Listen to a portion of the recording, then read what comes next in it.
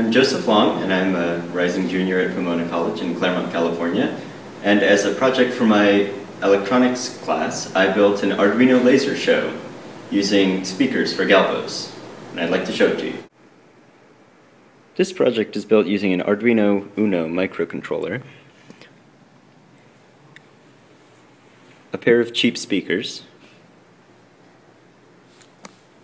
and a garden variety laser pointer, which I've adapted, or rather cut out of its casing, for this purpose. The Arduino generates a signal that will control the deflection of the two mirrors mounted to these speakers through this circuit, which consists of two Darlington transistors, a power filtering capacitor, and power input from a PC ATX power supply that sort of hacked apart to get enough current to run this thing.